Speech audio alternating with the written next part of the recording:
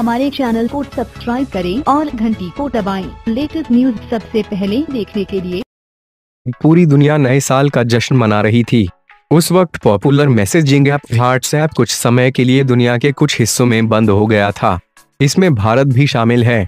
WhatsApp ने भारतीय समयानुसार करीब रात 12 बजे से रात 1 बजे तक काम करना बंद कर दिया था। हालाँकि अब व्हाट्सऐप को रिस्टोर कर लिया गया है और ये ढंग से काम भी कर रहा है। लेकिन कल रात लोगों को निराशा ज़रूर हुई होगी, क्योंकि ऐप ने महत्वपूर्ण समय में ही काम करना बंद कर दिया था। कुछ लोगों को मैसेज भेजने में तकलीफ़ हो रही थी तो कुछ के भेजे गए मैसेज डिलीवर नहीं हो पा रहे थे। व्हाट्सएप डाउन होने के बाद लोगों ने ट्विटर का रुख किया और जमकर मीम और जोक्स पोस्ट किया। इसमें WhatsApp is down WhatsApp working जैसे हैशटैग भी शामिल थे।